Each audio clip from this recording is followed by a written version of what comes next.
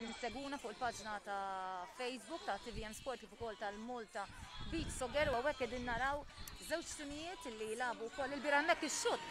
Ix-xutt sabiħ ta' Ju billi jagħmel id-doppjetta personali tiegħu inaqqas id-distakk ukoll għal Gargur. Gowl wieħed biss jifred iż-żewġ timijiet. Gowls li ġew skurjati, tnejn minn Glenn Bonello għal Birżebbuġa u tlieta ta' Noel Tabone. U għal Gargur kellna gowl li ġie skurjat minn George Frendo, wieħed ta' Tarik u tnej ta' Ayub Ahmad. Birżebbuġa jagħmel double mark mar jgħin insieħbu biex eh, tajjar il-ballun f'kone.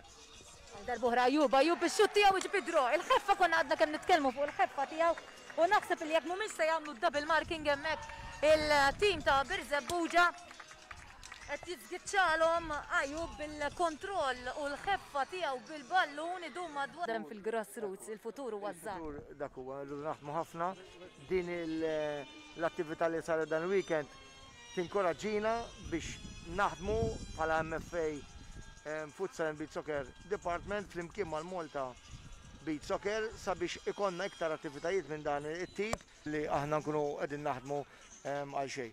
U għaldaqstant irridu naħdmu kemm jista' jkun fl-iskejjel. Inħoss illi jekk ma jkunx hemm iż-żgħar, jekk ma jkunx hemm il-livell tat-tfal illi tilgħin f'kull sport, hemmhekk inħoss illi l-association tkun qiegħda naħseb tfalli ladarba ma jkunx hemm tfal kemm subien u kif ukoll tfajliet. Bla dubju fallu dan il-penalti ikunu rebħu dan il-festival.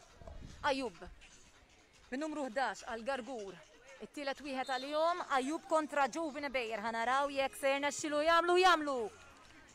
Ajub jagħmel il-tieni wieħed għal Gargur u issa jmiss il-plejer bin numru 2 Glenn Bonello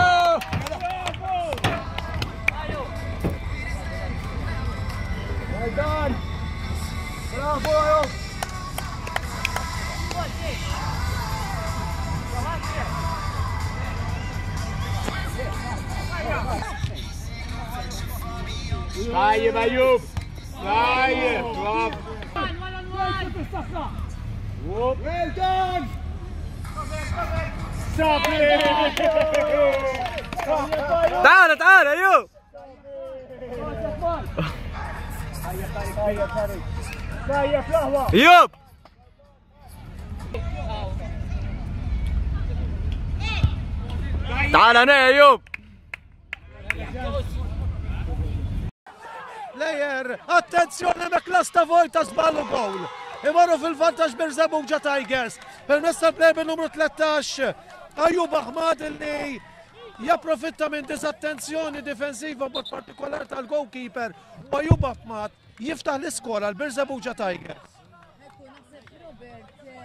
Eh, Robert naħseb meta laqam. Jol balun kit muskat. Jiprotestaw għal handsball. Togol nek, jiskorjaw it-tieni gol. Birżebuċa Tigers, il-pleber numru 13 Ajob Ahmad, li iskorja t-tieni gol u Ajob Ahmad issa illi b'dan il-gol li iskorja it-tnej wieħed ukoll jiġi għal 22 gol u allura se tkun issa interessanti se tkun ir-reazzjoni wkoll ta' AFM, però li jottu għali Ajob Ahmad Jiskorja t-tieni gowl għal Birżebbuġa Tigers. Tnejn b'wieħed l-iskor. Xutt tajjeb, xutt b'saħħtu, xutt. Effettivi ta' l-AFM li ma ħafrux. Il-lasta.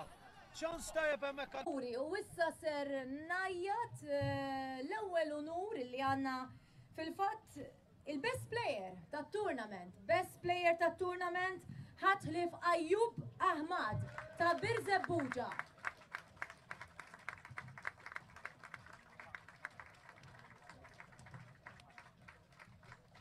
U top scorer b'24 goal, top scorer dan il-kampjonat nazzjonali l-ewwel edizzjoni.